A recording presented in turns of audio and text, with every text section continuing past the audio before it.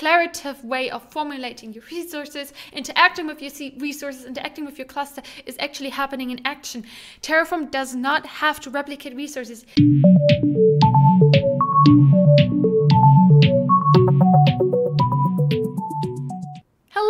Thank you for joining me for today's video of 100 Days of Kubernetes, the challenge where we aim to learn something new related to Kubernetes across 100 days and me sharing a few here right on my channel. Now you can pick any video, learn about any topic or follow the entire challenge depending on you. For those who are new to me, my face, my name is Anais. I'm a developer evangelist at Codefresh, just joined the DevOps space about a few months ago after, well, working for several years in the crypto space. So everything is pretty much new to me and I'm just sharing my entire learning experience on how a newbie discovers the space and discovers new topics. So you might want to check out my public Notion page, link below with all of my notes. Anyway, today we're going to be looking at Terraform. What is Terraform? Why would we want to use it? How do we use it? When would we want to use it? Let's get started. So, what is Terraform? Terraform is an open source tool used for the provisioning of infrastructure as code, setup as code. It was originally developed by Hashi core something like that. Um, and uh, it's basically used for you to be able to set up your infrastructure. Now usually we would set up infrastructure as a setup and then we would deploy application yeah and especially when we are living in the microservices world where we don't have one huge monolithic application, but we instead have several smaller applications. So each of those are one application um, we might have to set up different requirements for those different environments. Or we would have to set up um, a lot of the same resources multiple times for all of our microservices. Now, we wouldn't want to duplicate our um, infrastructure requirements, our infrastructure definitions, such as YAML files or whatever we use to set up our infrastructure, right? We also wouldn't want to manually press several different buttons, right? Like let's let's assume you would set up your infrastructure, like let's say your AWS uh, servers, cloud providers, in the UI, right? So this is the UI. You have different buttons that you have to press and uh, submit and so on, right? And if you would do that manually, you might end up well, not setting up the same thing or setting up uh, the same thing. Well, it would be quite error prone. Humans are really error prone and we shouldn't do manual tasks, okay? So, what Terraform allows us to do is define what infrastructure we want. So, here is what do we want to have? Can you see this? Yes, you can see this. Um, what we want. And then we tell basically within a file or multiple files, we tell Terraform, we want this, okay? And then we tell it what we want. Now, usually when you set up new infrastructure, you might have to have a look at what you already have. If you already have Kubernetes cluster running, right? What is there available for you already so you don't duplicate resources, right? Let's assume you want to have three different clusters for three different environments and you want to run XYZ monitoring services, um, know, other services, um, I don't know, whatever you want to, database, whatever you want to run on those clusters for your application, depending on your needs, um, you will have to have a look, what do you have already on your cluster, right? This is its, I don't know, uh, your cluster. And so what Terraform does is it has a look at the original state. And then it figures out, okay, what is needed to get to the desired state. Okay, this is our desired desired state, yeah? And that's, oh, you can't see it. Anyway, that's where we want to get to our desired state. So, and it will figure out, okay, we need to set up this, we need to set up this, we already have that, so we don't need to set it up. So this is check, check, and we don't need this, so we cross it out, yeah? And then Terraform basically, once you tell it to set up those resources, it will go ahead and set up the resources for you depending on your needs. Now, it will do so in a declarative format. Now, we want to, and I talked about this in previous videos already, we want to define all of our resources in a declarative format. That makes our lives easier and it allows us to further automate our processes, our tasks, our resources, and so on. Now, what that means in a what is a declarative format? What does that mean? What is the difference between imperative and de declarative? Well, if we press a bunch of buttons, that's imperative. We say, okay, we maybe want to have this and then that, and then we want to add this. And that's how we evolve the state, right? So we we start by nothing, we start by the original state, and then we are like, okay, we want this, we want to add this, we want to add that, right? And at some point we might arrive at our desired state, but it's not necessarily that we will arrive there, we might diverge along the way. It's like if you well, if you drive somewhere, right? You know you want to get to a supermarket and you take different turns and then you might be like, oh, okay, let's take that turn. Oh, but there's traffic, let's take that turn, right? Or, oh, this street looks nice, let's take that turn. And you might take a different route than um, you would usually take and you might end up in a different supermarket or you might drive by a supermarket where you're like, oh, this supermarket looks nice, let's go there instead, right? So you might end up with a different kind of infrastructure in the end. So what you do with an declarative in a declarative format, you, as we just mentioned, you start by the desired state. What do we want? What, and then you work your way backwards, or like in this case, Terraform will work its way backwards and see, okay, what do we need to get there? And then it fill in those gaps. And that's how we arrive then at our desired state. It's like um, if you go into a taxi, you tell, okay, I want to go to the airport, right? You don't care how to get to the airport, and in that case, um, the taxi driver will either ask you which airport, right? And you will have to specify further details, like which terminals on. But the path is already defined. Like it will make sure the taxi driver will make sure, okay, what is the best way to get there, right? In that case, um, similar if you look up in on Google a preferred path to get to a destination, right? You just provide the destination and it will figure out the path. You don't have to fill it out. You don't have to provide intermediate steps for Google to figure out that path. Okay, so when we're using Terraform, we have three different stages roughly set three different stages in which we set up all of our resources. The first one is our initiation stage. The second one is our plan stage. And the third one is our apply stage. Now we will take a look at like how to set up a resource through Terraform in a second in a practical manner. But basically, the initiation stage just makes sure you have all the requirements, all of the resources you need to set up your, well, your resource definition, your Terraform file, whatever it is, right? And then in the plan stage, you make sure that, um, well, you can have a look at what is needed to set up those resources that you want to have to arrive to the desired state. And then in the apply stage, you at the end apply those resources, you set them up, and what Terraform in that case sets them up for you. We will take a look at that in a second. Now you can use Terraform, first of all, to manage your infrastructure. So your infrastructure as a service, for example, by AWS, by Google Cloud, and so on, you can use it to set up your cloud cluster. Then you can also use it to manage your services. Um, so, like your, yeah, service as a service? No. Anyway, you can use it to set up any service that you need for your application. You can also use it to set up any platforms that you need for your application that would also be an option. Now, let's go ahead and have a look at, um, well, how to use Terraform in action. Okay, so like a lot of times, I tried to show something and it didn't quite work out, so I ended up going back and forth between different tutorials. So I ended up using this tutorial, this guide by Terraform, and they have really nice guides, so check those out, they are linked below. And this guide here by HashiCorp Learn. So here, this one is from the official Terraform site, which is also HashiCorp. I think they are both HashiCorp. So I don't know really what the, I don't know, I don't know what the the split here is. But anyway, so I used this guide and then I used this guide and I kind of came up with something that works. So um, I'm going to show that to you now.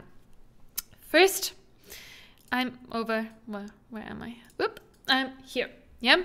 So let's let's clear this up this mess anyway so i have here a folder called terraform we will have a, in a second a look at what is within that folder itself however here i'm connected to kubectl uh, config and get context so I have here this kind Terraform learn cluster, and that is based on well, it's based on a config file that I found in one of the tutorials that basically defines um, let's have a look at what it defines. So over here, this is just what it defines. Um, it's a basic YAML resource that defines a cluster and it specifies within the control plane. It specifies the container port, host port, and the address it's listening to. Now, I'm not 100% sure how that interacts with the resource that I'm gonna create with Terraform, but this is basically the file that I'm used to create a kind cluster. So you just go ahead and you specify once you have that. What you basically do is you say uh, kind create and then um, well create cluster and then you say the name and you say test for example and then you specify the file that is used the config file that I just showed that is used to create the cluster. Now I already did that. So as you can see I'm on the kind terraform learn cluster uh, that's based on that. And then I set up two files. Now let's go ahead and have a look at those two files here. When I open them up here those are the files let's make this small so Okay, I have the terraform.tf file and the terraform.tf vars file. Um, now the tf vars file is based on um, stores configuration variables that I needed for Terraform to connect to my kind cluster. Now they are also referenced here, so it's basically those. Um, now the thing is I received several error messages because I didn't have this part, this decode part here set up. Uh, so I found that in some issues. So I'm gonna probably submit a PR and see what they think about this because the tutorial itself wasn't working. And it would be nice if tutorials work. It makes my life easier, you know? And your life easier too. anyway, so these variables here are defined within the Terraform TF Vars file that I'm not going to show you because those are sensitive values. And usually you want to have like a um, secret management of sorts where you can store those values. Now in this example, I didn't set that up since I mainly wanted to learn how to use Terraform. Now next we have, we set up a namespace, Kubernetes namespace. It's gonna called test. Uh, we're gonna set up Kubernetes deployment, also test, and that relies on Nginx. Now that's defined within the spec section here. We have we want to have a replica set of two of this application, of this image of Nginx. Now we should probably define like the tag. You wouldn't necessarily want to leave the tag blank and then it would choose the latest.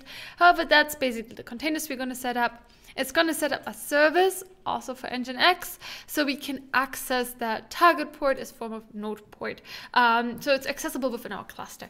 Anyway, so those are like basic Kubernetes resources, like you would set them up in a YAML file.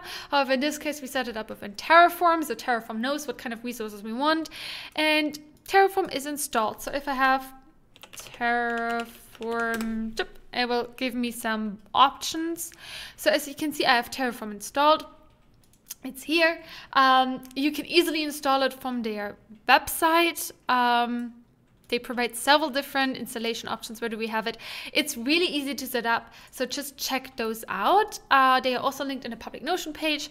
So once we have that, once we have those resources, yeah, we obviously want to create them, right? So you do first terraform init to initialize everything that we need to set up our Terraform. Anyway, so then this will create those folders, those files. Now, I didn't look at what those actually are yet, so I don't think I have to interact with them on this basic use case right now. And then we can go ahead and say Terraform plan. And once you say Terraform plan, it provides us with a list of resources that it wants to set up. So in this case, it says, okay, to well, this is the desired state of our cluster here, right? We define it here within the uh, terraform.tf file. That's the desired state. And then Terraform goes ahead and is like, okay, let's have a look at your current cluster and the resources that you currently have available.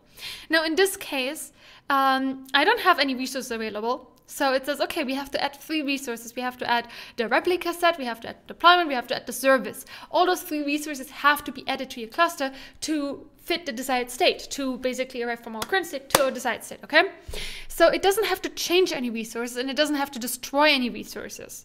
It just has to add new resources. And it's gonna do this in a namespace called Nginx. Now, when I go ahead now and say terraform and then apply, it's gonna create those resources. Now, when I hit enter, it's first gonna ask me to actually uh, confirm that that's what I want to do. So I'm gonna say, yes, that's what I want to do. And now it's gonna go ahead and create the resources that I specified within my Terraform file. Um, awesome, it created resources. So I can go ahead and see kubectl, uh, get all now, as you can see, it's nothing in a default namespace. So you can go ahead and, well, let's clear this up first. kubectl get all in namespace engine X. And within namespace Nginx, as you can see 23 seconds ago, it created two running pods as well as our deployment and our replica set. This is our desired state and this is what's running right now in our cluster. Now, if I were to actually delete, let's say my deployment, let's go ahead and do that actually. Let's delete our deployment kubectl, um, delete deployment and then the Nginx engine X in namespace engine X. Okay, now I deleted the deployment, yeah? Here, no more deployment. We made it poof, okay? It's deleted. now, once we go ahead and we say we are still in the Terraform folder with our resources, Terraform um, plan, and now it's going to compare again the our actual state with our desired state. And as you can see, now we already have our replica set. We already have the service and the pods running. So we only need to have the deployment. We don't have to have the replica set anymore. We don't have to have the service anymore. So while before Terraform had to create three different new resources. Now it actually only has to create one more resources. So we can say again Terraform, oops, Terraform apply um, apply and then we can confirm that that's actually what we want to do. You can also, there are different parameters so you can say, okay, just approve it. I know already what I want to do. I know what's going to be created. So see, now it's just going to create the deployment and nothing else. And that's the beauty of having, um, well, you see here, right here, the um, how the declarative way of formulating your resources, interacting with your resources, interacting with your cluster is actually happening in action. Terraform does not have to replicate resources. It does not have to create new resources that are actually already running with our cluster. It can just reuse the existing resources and compare our current state with our desired state and then move them closer so they actually they're the same, right? As it's done in this case. So we can go ahead and say again kubectl get all in namespace Nginx. And as you can see here, while those others um, are a bit Huh. While this is, while the service is already two minutes old, two minutes and 30 seconds since we just since we created it, the deployment is just 30 seconds old. And the deployment interacts obviously with the pod, so it will have a similar age. And yeah, those resources are running now. So if you want to follow along this, what I just showed you, or you have problems with other tutorials and you want to have a look at my tutorial and the resources that I use and what I did to first interact, in my first interaction with Terraform, have a look at my public Notion uh, notes list, whatever you want to call it. I basically have a notes for every day of those 100 days. Here's day 20, today Terraform where I basically first provide more information what is Terraform. So if you prefer the written format, here's the written format, link below. And then I provide further information how I set up my resources, such as my kind cluster with the YAML file, as well as how I set up my Terraform files with the specific values, where you can get those values from, and so on. So if you prefer the written content, maybe that's helpful for you. If it is helpful, let me know. I would love to hear from you.